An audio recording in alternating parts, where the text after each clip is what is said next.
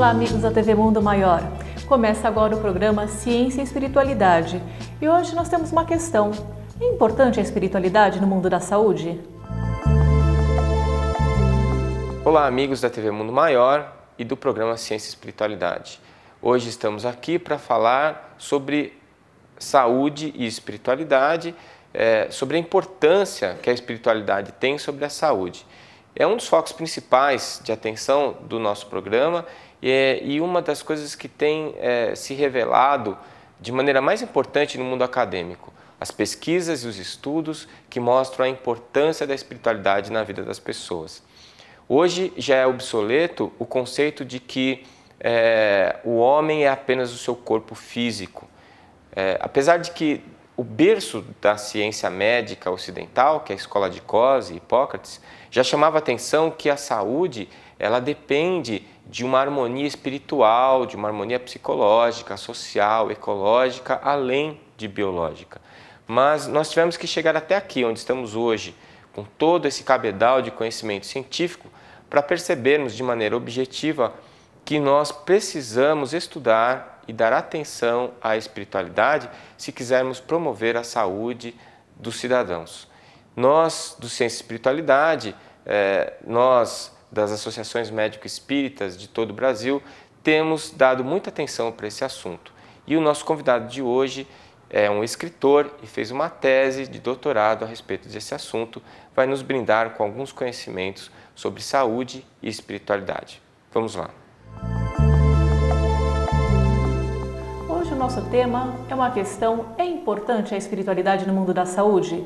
Para falar justamente sobre isso, estamos com o autor do livro do mesmo nome, Alexandre Martins.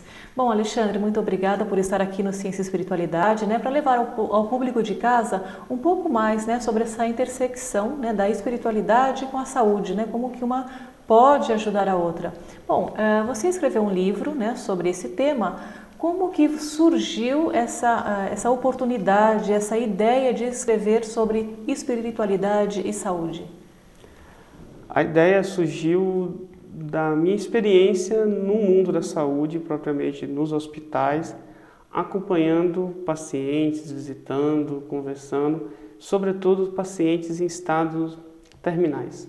A partir dessa observação e, e perceber como uma relação com a espiritualidade, relação com o ser transcendente, ou mesmo algo que leva a pessoa a transcender aquele estado no qual ela se encontra, que é um estado é, de saúde agravado, está doente ou mesmo próximo uhum. do fim da vida, me despertou para refletir esse tema.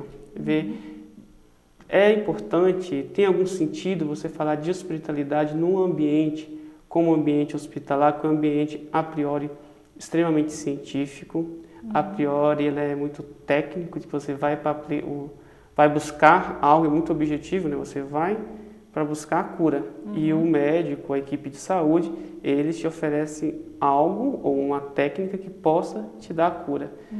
Mas eu achei, mas o ser humano não é só isso. O ser humano é mais do que isso. E quando a pessoa está doente, não é só o físico que adoece. O espírito da pessoa, o psíquico também é afetado. Então, uhum. isso me despertou a refletir sobre isso. Certo. E você começou a ter essas ideias a partir de um curso que você fez né, de, em bioética. Isso. Ah, eu, o livro, então, ele teve, digamos, dois, duas etapas até chegar no livro. A primeira etapa foi essa experiência no hospital com os pacientes terminais.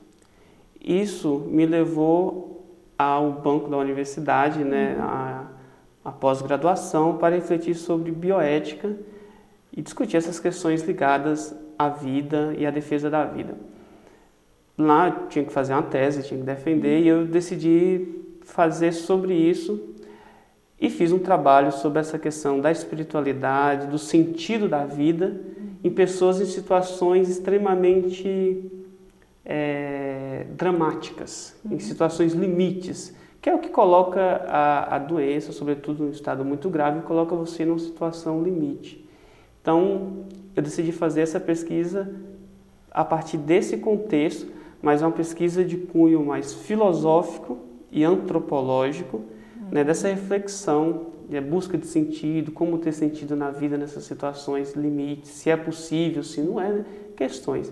Sai a, a, dissertação e aí vem a segunda etapa, uhum. que foi, eu fui desafiado pela própria universidade que eu defendi a dissertação a colocar isso numa linguagem mais simples, uhum. para que fosse, porque o, a dissertação sendo uma linguagem muito técnica, né? certo, né? É. é uma linguagem muito é, acaba a, a, poucas pessoas têm acesso e a linguagem fica muito complicada. Então, eles me colocaram essa pergunta: você acha que é importante a espiritualidade na saúde?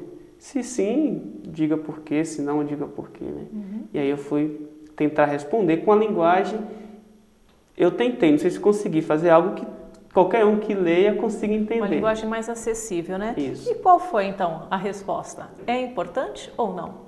Sim, a resposta que eu cheguei é que é importante uhum. e que eu acho que o mundo da saúde, os profissionais da saúde, né, mundo da saúde, quando eu falo, para dar um sentido mais amplo, né, de tudo que está ligado com saúde, doença, cura e tratamento, porque é importante por quê? Porque o ser humano não é só físico, não é só a parte da carne, a parte física que adoece mas é muito mais do que isso.